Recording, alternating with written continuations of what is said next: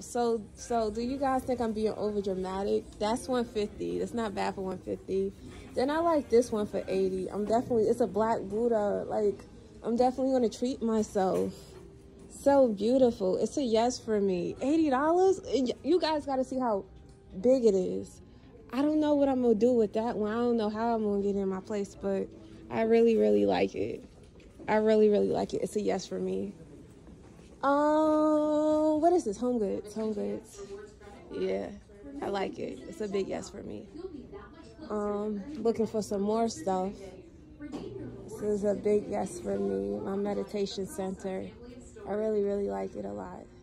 And then they got the sound bowls, I think. But I don't like the lion. It's no for me. Oh, boy. Yeah, that 150 is a big no-no. Mm-mm. But $80 is not that bad. Not that bad, not that bad. I like it.